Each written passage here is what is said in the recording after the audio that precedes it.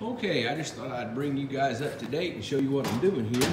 Uh, this is the part of the jack that whenever you pump it up, it, it lifts up like this to raise your vehicle. Here's the, the lip right here. I just, there was a pin that was pressed in right here. I just ground it off and, and drove it out of there. And what I'm gonna try to do is square this up and use this to whenever you uh, fold your thumb up to your boom to attach it to this.